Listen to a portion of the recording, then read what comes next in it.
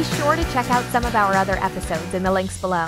And don't forget to like, share, and subscribe if you want to see more videos. We'd also like to say thank you to Wind Creek Casino in Atmore, Alabama. Be sure to check them out if you're in the area. And if you're planning on going to Playlist Live, be sure to keep an eye out for Kojo. See you next time!